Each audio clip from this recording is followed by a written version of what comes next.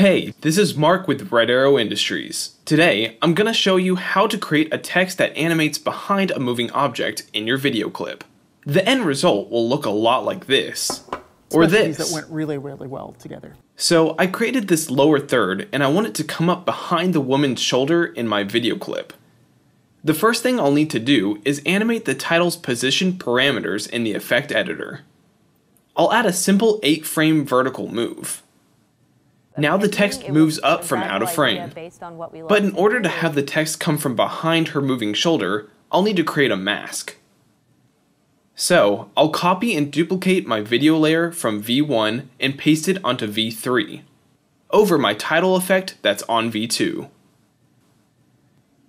Now grab the AniMatte effect from the key tab in the effect palette and apply it to the duplicated video track on V3.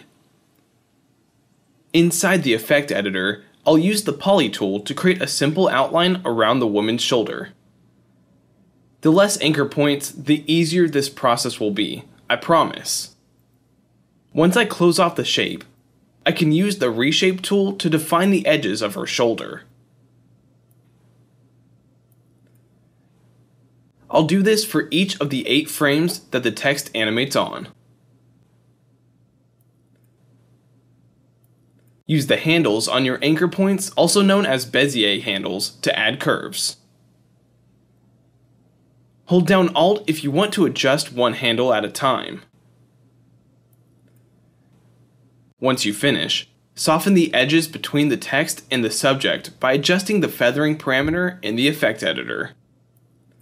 Hold down Shift to select all of the keyframes. I'm going to set my bias at 30, and my horizontal and vertical parameters will go to 3.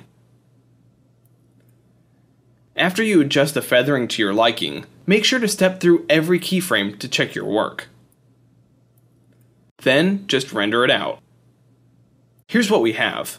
Striped light wasn't this like epiphany, it was a gradual idea based on what we love to do. There you have it. We've elevated simple titles using some of the most basic elements in Avid Media Composer. Thanks for watching. If you have any questions, comment below.